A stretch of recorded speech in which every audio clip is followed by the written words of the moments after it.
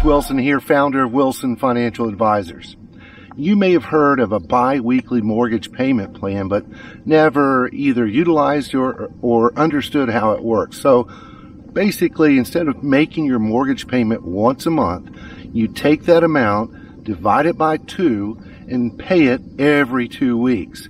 So by doing this, it's going to help you pay off that mortgage quicker, you save a lot in interest. For example, if you had a $200,000 mortgage, 4% interest over that term, you're going to cut down five years of that and save $19,000 in interest.